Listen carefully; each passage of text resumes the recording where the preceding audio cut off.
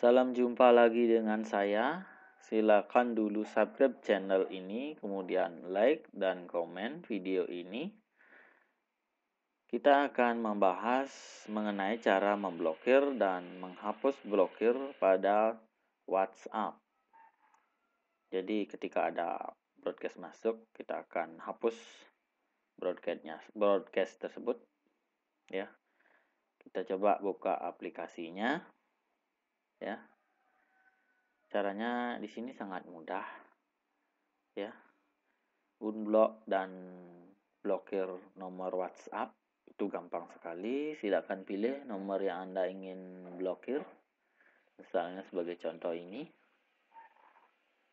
Saya akan coba blokir nomor ini ya jadi tidak akan ada notifikasi apa pun SMS eh, apa namanya message atau yang lainnya. Saya tekan menu kemudian more dan saya akan blok di sini saya akan blok nomor yang tertera di layar ya. Nah kalau sudah diblok seperti ini anda tidak akan mendapatkan pemberitahuan apa pun. Walaupun dia menelpon, walaupun dia mengirim pesan, itu tidak akan apa namanya sampai ke WhatsApp Anda, ya. Jadi Anda pilih blok yang di atas, ya. Kalau Anda ingin membatalkan, boleh tekan cancel. Dan yang terakhir terakhir adalah report and block.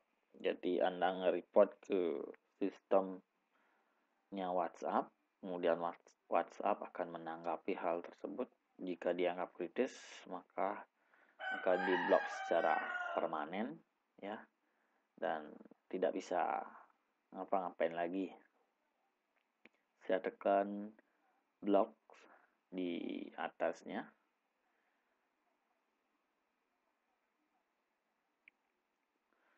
Oke, nomor ini sudah diblokir. Untuk memastikan apakah sudah diblokir, kita masuk ke nomor tersebut ke profilnya kemudian kemudian scroll ke bawah nah di sini sudah muncul menu unblock berarti sudah terblokir dan apabila anda ingin mengembalikan blokirannya tersebut menjadi tidak diblokir tekan profilnya kemudian anda tekan unblock jadi nomor tersebut tidak diblokir lagi. Jadi posisinya normal seperti di awal tadi. Oke, kita tunggu.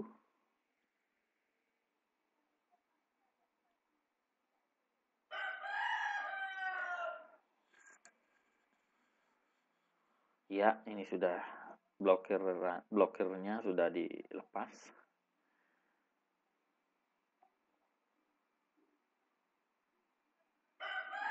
Bagaimana caranya melihat nomor yang telah diblokir sebelumnya? Misalnya Anda salah pencet, masuk di menu awal, ya. Kemudian masuk di menu pojok kanan atas. Anda tinggal pilih setting. Pada bagian account, Anda tekan. Kemudian pilih privasi. Dan scroll ke bawah ada messaging di sana ada blok kontak tertera di sana satu artinya hanya ada satu nomor yang saya blok sebelumnya. Anda bisa membuka blokirannya tersebut dengan cara menekan nomor tersebut dan Anda pilih unblock. Jadi tidak ada yang diblokir. Nah begini caranya melihat nomor yang telah diblokir sebelumnya.